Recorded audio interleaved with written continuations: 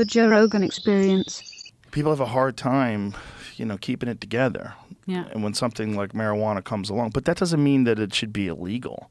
That means there should be some Oh. real counseling and there should be places that people can go where they can talk Mm-hmm. to someone and therapy and there's there should be a way to Mm-hmm. make it legal. I 100% agree. I mean, one thing we know is that the war on drugs hasn't worked. The billions of dollars that the United States has spent on the war on drugs has actually had the reverse effect. And as you know well, the biggest drug epidemic in America's history was created right here in America by the pharmaceutical companies. Yes. Well, that's how I found out about you from the OxyContin Express. That that was so eye opening. And when you did that, what what channel were you guys on back then? Current TV was Al Gore's television channel. It was Al. Gore's. It That's was. hilarious. It was it was actually a really interesting experiment. So it was right before YouTube started, hmm. and basically they were trying to. The idea was democratizing television. It was giving young kids out there a platform to go out there and explore the world and come back with these stories. So that's how I started. what Um, year was this? This was 2005 or six. Oh wow. 2005 when it was when I started. Yeah. Mm. Um, so a long time ago. And then YouTube came around. it turns out that YouTube was a bigger success than current TV. But I really, the show that I worked on was called Vanguard. And it was all these young journalists who most of us had just graduated, but they basically gave us cameras. And in my case, my husband at the time was my boyfriend. We both applied. They hired us both, and then we traveled all around the world. He would film, I would be on camera, and then we'd come back. I'd edit, he'd write. We'd do these stories together. And one of the stories we did was the prescription pill story, uh, the OxyContin Express, which is how we met because Yeah. tweeted about it. Well, I think your work really changed the way people were aware of that problem in Florida, and they it changed the laws because they didn't have databases back then, which was 100% on on purpose. Yeah, so you could go from Yes. you could go doctor shopping. You could Yeah. go from pill mill to pill mill or pain clinic to pain clinic to buy prescription pills.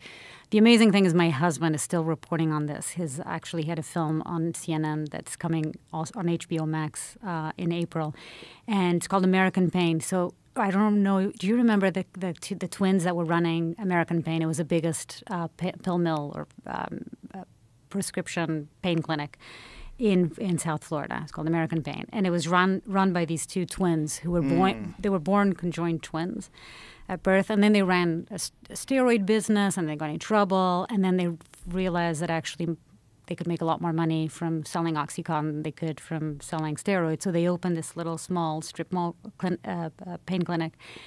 And as you saw, you know, people started coming uh, in from all over the country and buying, and the doctors wouldn't even look at them, and they were prescribing pills like it was Tic Tacs. And this, we we found out about them because we were reporting in Kentucky, and we were the sheriff who was, you know, overdoses all around them, people, you know, dying, devastating his community, and a lot of the pill bottles had this name, American Pain. And we started, we went down there and we took out the camera, and my husband took out the camera. And we, the first shot we got immediately, within minutes, this big SUV came with two big guys who were threatening us and started yelling us and telling us to leave, that we weren't allowed to film.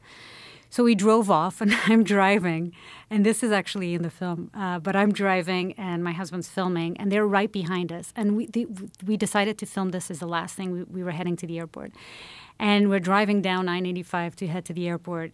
And they start following us, and then I realize I have very little gas. So I stop at the gas station, and they stop right behind us, and they come out of the car. And these were big guys. And the day before, I'd, we'd been watching The Sopranos. so in my mind, they were coming out guns a blazing and they were going to kill us both. So I drove off. I was so nervous and I drove off and they continued following us and I didn't put gas in the car. So we're on 995 and we called 911 and said, hey, we're being followed by this car and to explain the situation. And then I ran out of gas Oh my as God. we were filming and I pulled over to the curb, but they were so sort of surprised, shocked. They had no idea, confused by what was happening, that they just parked behind us and came out of, and they never came out of the car. And then the police arrived. And then they made up an excuse that they thought I was an old girlfriend or something like that. But we, my husband took down their license plates and found out their names. And it was the George brothers, Jeff and Chris George, who were running the biggest prescription or pill mill in America's history. They were making, I think, something like $40 million a year out of this small little pill mill pain, you know, strip mall clinic, and uh, and it was incredible. And then and then a year later, they were they're now do, they, one of them just left prison, and the other one was still in prison. So They those being were the guys that were following you, the guys that owned the organization. They owned American Pain. Our organization was just a strip mall clinic, pain clinic, with thousands of patients that would come in and out, and you know, tons of doctors writing prescription pills. And when we were working at the time, where we'd been interviewing uh, off the record a DEA agent who didn't want to go on the record, that we later found out was actually investigating them, and they had wiretaps. So in Darren's movie, uh, is the, he got his hands on all the wiretaps, so you could hear them. And part of it, there's a part where they talk about us and our film and how we were trying to uh, look into them. So it all sort of came, yeah. That's it. South Florida Yeah, Pain so Clinic. it's South Florida Pain Clinic, and then they changed to a new location, a bigger location, and called it. Uh, uh, yeah, that's it, and God, called it it's such- American Pain. Such a what a great name, by the way. Yeah, and American that's- Pain. and And, those are the two brothers down there the with film. the fish. Yeah, that's the two brothers. Those are the guys that were chasing you. Yeah. Wow. Well, they found a loophole. It's a crazy story. So they're in prison, and Darren he sends them an email and says, "Hey guys, remember that guy that you chased down 995? I'm doing a film about you. Do you want to be interviewed?" And they did. It's a great film. what did they say? Did they just spill the beans about what they did? And They talked a lot about sort of how they grew up and why they did it. Um, it's yeah, I think it's interesting. When they had already gotten in trouble, so they had really nothing to lose at that point. but what wasn't what they were doing legal?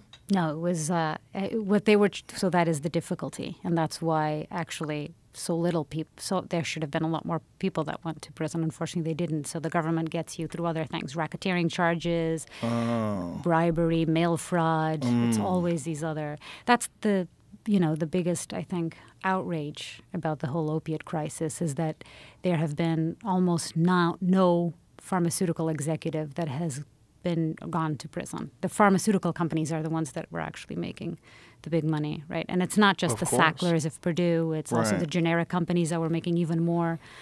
And uh, and no one went. Nobody was actually.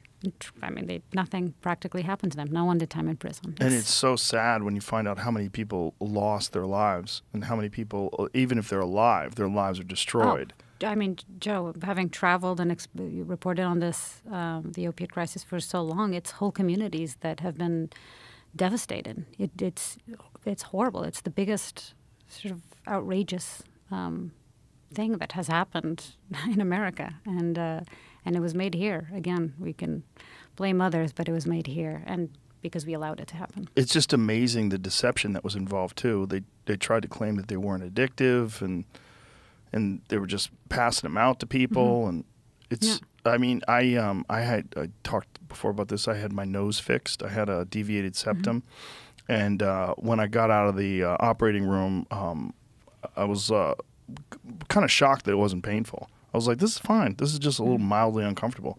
And the doctor tried to give me two different prescriptions for opiates, and I was like, um, "I'm not going to use those." Um, because I, I had had knee surgery and I, I also didn't take pain pills. But I don't mind pain. What I really don't like is feeling stupid. And when I took, um, I think it was, I don't remember, it was Percocets or Vicodin. I don't remember. But one of my first knee surgeries, they gave me uh, one of those. And I took it. And I remember being on my couch when I lived in New York and uh, just sitting there watching TV like this Yeah. feeling so stupid and thinking, "Oh my God, I am never taking this shit again." Like Mm-hmm. whatever this is doing to me. It, first of all, I don't think it really stopped the pain because I remember getting up because I had to go to the bathroom and I was it was like liquid fire Mm-hmm. was going through my knee and I was like, if it still fucking hurts Yeah. like this and I'm dumb as shit, Yeah. like I am not taking these Yeah. anymore. I know. It's the, the ease with which they were dispensed and are still being dispensed to some degree. my doctor was trying to force me to take them. He Yeah. was like, he was like, just you really should take these. Mm-hmm. Like you're going to be in pain. I go, well, it's, it's just p- a little pain. Mm-hmm. Like, is it worse than this right now? And he goes, it could be. I'm like, how could it get worse? Why is it going to get worse? Yeah. Like if it doesn't, if it just is mildly uncomfortable now, and like so, the doctor was just like, you should take this, and I was like, why would I take that? But I don't, I wasn't, I didn't understand why. Like I, like couldn't I come back to you if I'm in pain? Like if I'm Yeah. not in pain now, why do you want me? It was this weird conversation where it's like, I don't know if he was incentivized to try to try to prescribe them if he felt like it would be good for him. I, I didn't I didn't understand it. Like, couldn't you just if you wrote the prescriptions and I didn't take it, like, what do you care? But he wanted me to take them. Yeah. It was weird. So strange. I mean, that's what was happening with Oxycontin. That's what was happening later on. We did another story on fentanyl. That was what was happening with fentanyl, too. You had a company, and uh, we investigated one particular company. And I think it's the only CEO of a company that he's now in, in prison, actually, for what he was doing. But yeah, he was bribing, essentially. And he was charged with bribing. He was bribing doctors. And there was a quota. And he was basically telling them if you prescribe more of our product, which was fentanyl, uh, a, a, spray fentanyl called Subsys. If you prescribe more, we will give you more money. He, he was paying them out, and take, taking them on trips, luxurious trips around the world, and telling them not only to prescribe this medication to people who have headaches and back pain, mm. and a medication that is made and FDA approved only for breakthrough cancer patients. But yet you go to the doctor and you say you have a headache, and this guy knows that he can get a kickback from the company, and so oh, you should take this this drug. How much uh, of a kickback fentanyl. was it? Oh, it was significant. It was in the thousands of dollars. Some doctors got hundreds of thousands of dollars. Mm. And so they were incentivized. Yeah, there was a big incentive to do it. Yeah, and they were also invited to these luxury vacations yes. and to go to speaking fees. What they said is that they were paying them for speaking fees, which basically was the code. Bribes. Yeah. I have a good friend who used to be a pharmaceutical representative, and he explained to me how it works that he would not just know the doctor, but he got to know, he knew who the doctor's kids' names mm-hmm. were. He would show up at their baseball games and he would give them gifts. He would take them out to dinners, and it was all about cultivating these relationships. Mm-hmm and that it was all about like I'm your friend, and you, you know, like, and they wanted to have this sort of weird cronyism, weird mm-hmm. sort of relationship where even if it wasn't illegal, like clearly he was influencing them mm-hmm. to sell more pills. Mm-hmm. It's so crazy. Yeah. Yeah. Yeah. It's. Uh, it's it's crazy, and it's crazy that it's still happening, and I'm it's just shocking that not more people have gotten in trouble because of it. What has changed in Florida? Because they they did change and they made a database, yeah, right? there's a database right now, which was the biggest thing that didn't. So you could go to ten doctors in one day and get yeah. 150 pills from each doctor. At the end of the day, you'd have 1,500 pills, and no one would know about it. Uh, and then you'd grab those pills and go and sell them to other places of the country where you could get 20, 20 times more for the same drugs. Um, yeah, so the database is, and it's just much harder. I think there's one of the things that I, I remember we, that we reported on it, that you shouldn't be able to prescribe and dispense at the same location because it's a conflict of interest, right? If you have, if you're going to make money out of the selling selling of those pills, you shouldn't it shouldn't be at the same place where you're prescribing them because yeah. then there's an incentive for you to prescribe because you're making money from the sale of those pills. Um, so that was happening in Florida as well, and it's not allowed in a lot of other states. And then the horrible truth is that a lot of those people became addicted, and then they had to get it on the black market. So then they were getting fentanyl laced heroin, yeah. and massive yeah. amount of overdoses. Yeah, the progression was oxycontin, and then it was fentanyl, and then it was heroin, and then it became fentanyl.